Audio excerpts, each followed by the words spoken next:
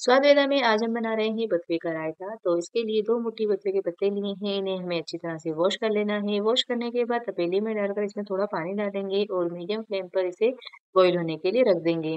मैंने इसे ढक दिया है। दो तीन मिनट के बाद आप देखेंगे कि पत्ते अच्छी तरह से बॉईल हो गए हैं। तो अब हम गैस बंद कर देते हैं और इसे ठंडा होने देते हैं। और इसी पीछे बॉल में ले रही हूँ एक से डेढ़ कप दही। इसमें डालेंगे आधा छोटा चम्मच सौंफ पाउडर आधा छोटा चम्मच जीरा पाउडर थोड़ा सा सेंधा नमक और आधा छोटा चम्मच सादा नमक। आधा छोटा चम्मच काले मिर्च पाउडर भी ऐड कर रही हूँ। इन सभी को हमें अच्छी तरह से मिक्स कर देना है। इसके बाद जो हमने बथुए को बॉईल किया था, उसे भी ग्राइंड करके हम इसमें मिक्स कर देंगे। और हैंड विस्कर से इसे हमें अच्छी तरह से मिक्स कर देना है। इसके बाद लेंगे हम तड़का पेन और इसमें डालेंगे दो छोटे चम्मच घी। घी के गर्म होने पर एक छोटा चम्मच राई, एक छोटा चम्मच जीरा, एक बारी कटी हुई हरी मिर्च और आधा छोटा चम्मच लाल मिर्च डालकर तड़का बना लेंगे और इसे डालेंगे हम। तैयार किए हुए दही पर और ये लीजिए बकरे का रायता बनकर तैयार है।